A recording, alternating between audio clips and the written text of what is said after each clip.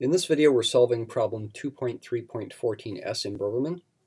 We'll be finding the ultimate nominal payment on an initially increasing perpetuity, after which it will be level. We're also going to add an extra wrinkle to this. We're going to solve it in two ways. Um, to illustrate some more of the formulas that we've been doing recently, that's one purpose for that. To illustrate flexibility in thinking as another purpose and to illustrate that one way definitely can be easier than the other way, and that will definitely be the case in this problem. Here's the problem statement. We've got a perpetuity, an annuity that goes on forever. It costs 77.1, so that would be its present value right now. You'd have to pay that amount to get the annuity. It makes annual payments at the end of the year. The perpetuity pays 1 at the end of year 2, not the end of year 1. Careful, it's the end of year 2. 2 at the end of year 3, etc., n at the end of the year n plus 1, and then after year n plus 1, starting at n plus 2, the payments remain constant at n, the same as the payment at time n plus 1. The effective annual interest rate is 10.5%. Calculate n, the ultimate uh, payment, the ultimate constant level payment for this perpetuity. That's where the book's directions end. I add on these extra directions here. Let's solve this problem in two ways. One, by thinking in terms of increasing annuities.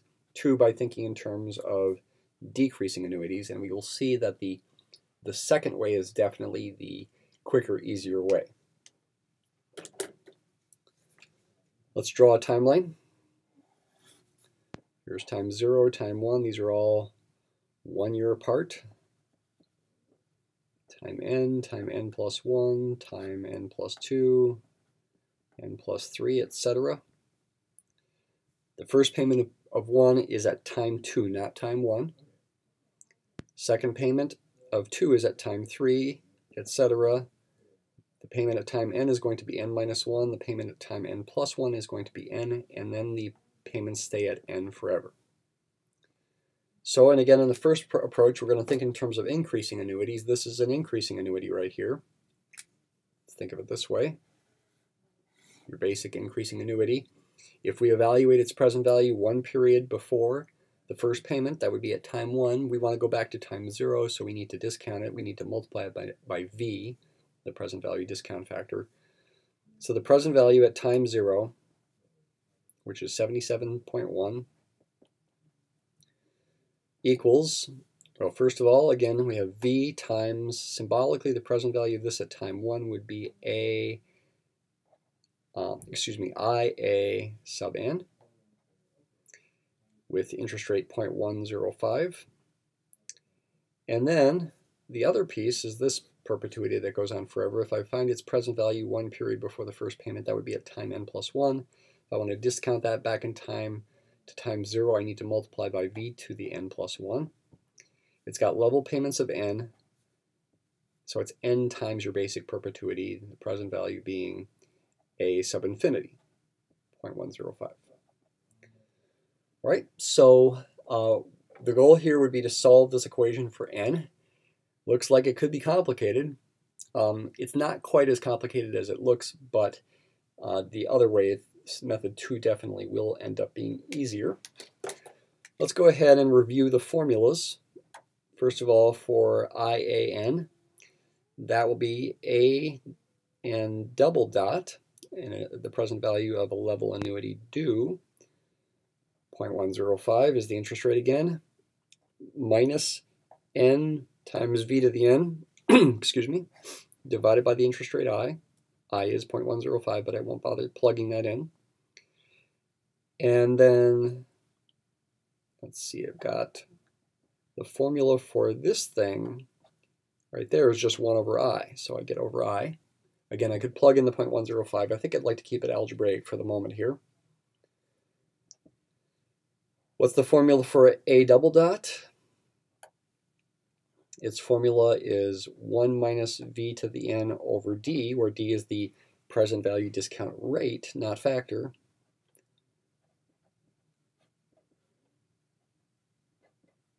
We have a common denominator of i. These fractions could be added. Let me go ahead and multiply the v through the top here and use the fact that v over d simplifies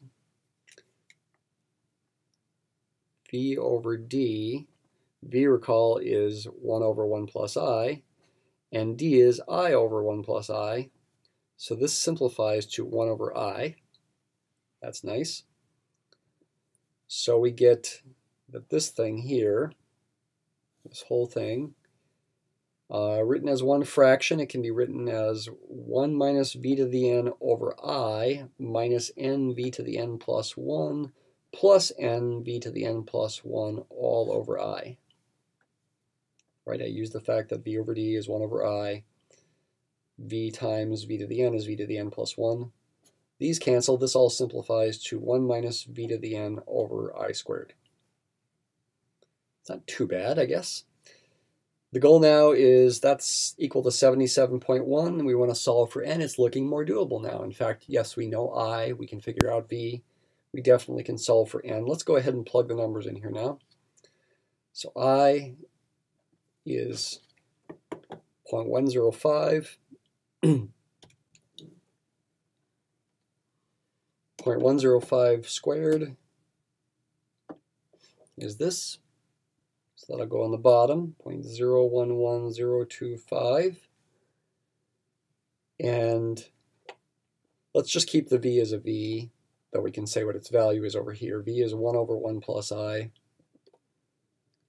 1.105 is 1 plus i. Take its reciprocal. That number is v, about 0.90497738. It probably would be good to store that. I'm going to need to take a log of it eventually here. Let's store this in register 0. Um, so again, I'm focused on this equaling that. I'll multiply both sides by 0 0.011025.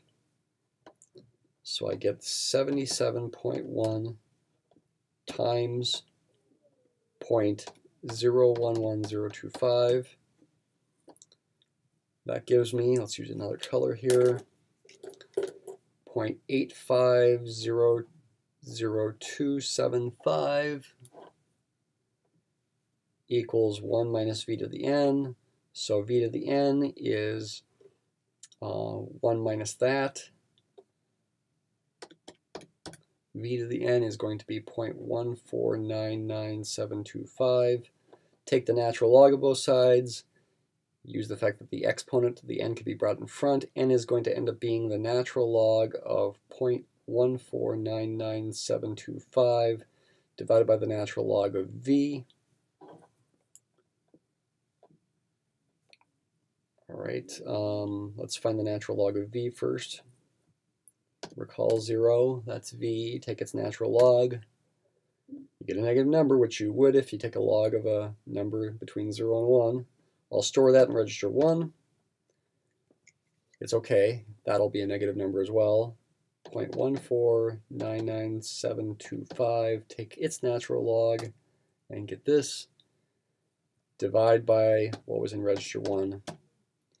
And n is approximately 19. And that is the correct answer.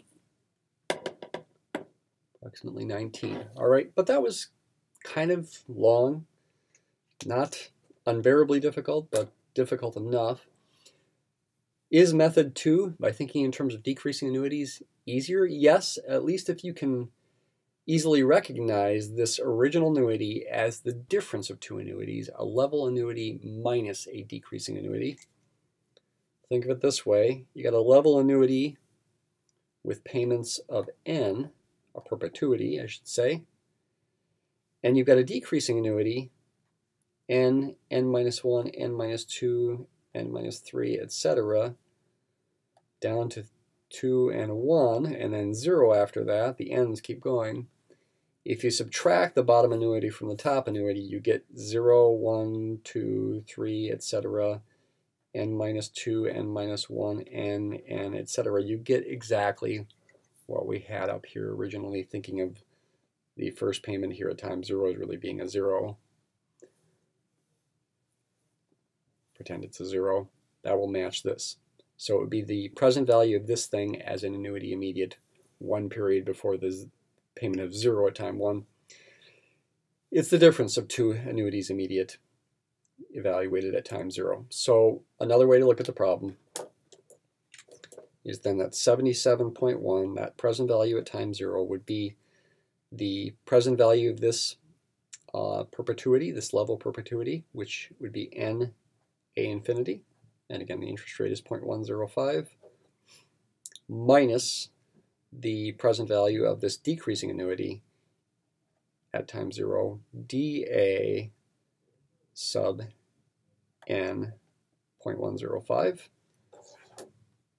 So this becomes n over i for this thing because this thing is 1 over i, where i is 0.105. And then the formula for such a present value of a decreasing annuity we derived in the last video was n minus a sub n over i. Combine these fractions, it simplifies to plus a sub n over i. Multiply both sides by i, like before. We have a, uh, okay, we don't, we have an i in the bottom, not an i squared, so be careful here. So I'm multiplying 77.1 by i times 0.105. That gives me 8.0955 equals AN. But what is AN? It's 1 minus V to the N over I. So I end up multiplying by I again, ultimately meaning I was really multiplying by I squared. So multiply 8.0955 by I again times 0.105 and you get the exact same equation from the previous method that we solved up here. This equation and this equation are the same thing and then lead to the same answer n equals 19.